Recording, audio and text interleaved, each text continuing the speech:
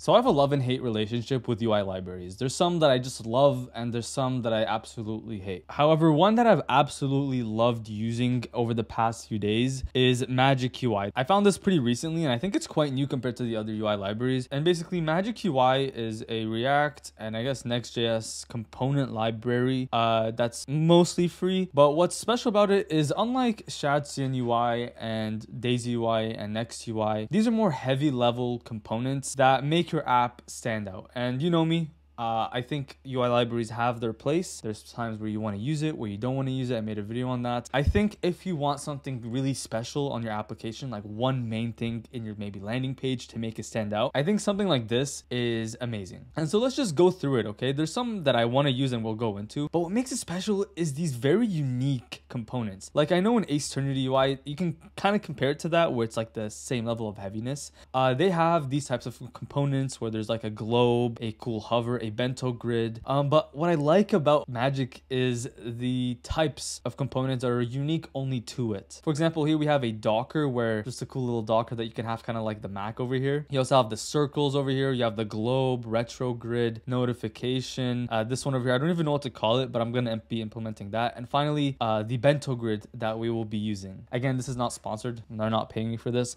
I just found it on Twitter and I just thought it would be cool to talk about. So one that's really made me fall in love with it you could say is this bento grid over here. So let's just install this and let's just see what we need to do. So first things first, I already have all of these, so I don't need to do them. You know, you'd have to install these. So all we need to do is, is go into a bentogrid.tsx. So let's actually do that right now. So let's go in here, components, add uh, bento, let's call bento .tsx and let's just call this code in here. In addition, we would obviously need to call this in it. So let's just grab this one. This is specific to this type of bento grid. So let's just call that. So in here, let's just call bento.tsx and let's paste it over here and let's see what we're getting. All right, so we need a globe and a marquee. So let's call it over here. So globe.tsx and a mark key.tsx. Obviously, you can see these are a lot heavier type components where they're using other UI libraries, maybe like Shadcn on top of what they're already doing. And it's obvious, right? There's a lot more that goes into it. So we need both the globe and the marquee. So let's just grab those real quick. So globe.tsx. Um, installation. I think I already installed it. I'm not too sure. Let me see. I'm to do it regardless. And let's go into Magic UI and let's call globe .tsx. God damn it. Creating folders. Globe.tsx. And let's just paste it in here. And we also need the marquee. So, oh, I see what I did. I just put them here by accident. So let's do marquee. Put it in here. And let's grab the marquee. I think the marquee is just a, uh, yeah, that's what I thought it was. Um, I already have something like this, so I'm just not going to use it. And let's call this. So in the libs import. Oh, oh, in this, we need this. All right, there we go. And if we delete these and go back into our bento grid over here, we can see that there's no more errors, which is good. And all we need to do, I guess, is just call the bento. So let's go back into our bento. Let's see what we need to do. Uh, what are they importing? Bento demo. So let's go back into our header.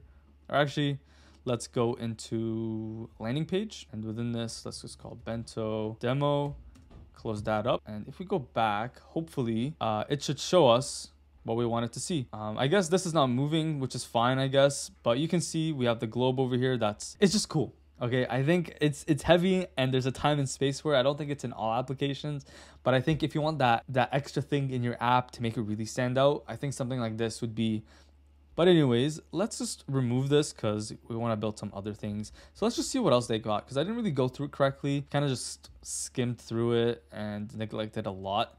So let's see. Um, I know that this orbiting circles is really, really cool. There's a tweet card where if you want testimonials, which I would low-key be down to, to use. The dock, which is really nice avatar circles, interactive icon cloud. This one's sick. But the main thing that I want is the animated beam or some sort of border beam. This would be sick, but let's do the animated beam. Why not? So what do we need? So components animated beam.tsx. Let's do that real quick. And then within that, let's copy this code and let's see how we can implement this. So here we have, let's just call this animated.tsx and let's paste this code in there. And so when we go back into our landing page and we want to call this, we can just say animated beam demo, I guess, and then close that up. And I guess if we go back into it, you can see we have the animated beam demo. Uh, if we go into it, we can kind of just see what's going on real quick. So we can see over here, right? Uh, how this would probably work, at least in objective sense, and we can go into the code real quick, is we're creating icons and we're creating lines. These are probably just, it's one image, and we're just displaying the circles within it. I guess you could say. So let's see how this might work in the code, okay? So in the animated beam.tsx, this is in the magic UI folder. You can see here we have the gradient coordinates. Again, I'm not gonna act like I know it, but it makes sense, right? You need the coordinates of these, and then you have the use effect where you're telling it to do the type of thing. So I guess this is just where you want it to go with each uh, icon slot. And obviously you're using framer motion for the moving areas, but you can say this part. So let's say we want it to be I don't know, blue. I guess I'll change it to blue, right? There you go. Yeah, okay. So let's just change it black back to gray. And I guess here's where we could update it. So the gradient start color, we can do this to whatever we want. So let's see what we can do. Um, let's get our color tool. Maybe get something like yellow. Why not? Stop color. Why not? Let's try that. And I think now if we refresh, there you go. So it has nice little yellow. So it's pretty customizable, uh, pretty easy to use. Um, I guess this is pretty hard to implement, but you can see we're just creating the beams and the stroke width and stuff like that. And then when it comes time to actually putting it into the animated.tsx, here's where uh, I guess stuff gets a little bit more complicated. This is 500 lines of code. We're not going to go through all of it. But I guess here we're just laying out each icon, the circle, and the layout of it. But yeah, if you want to learn a little bit more from me, then I'll leave my learning platform down below. There's a bunch of free courses on there. So if you're just interested, then I'll leave it down below. And if you like this video, check out the video on the screen. Happy coding, and I'll see you in the next video. Bye-bye.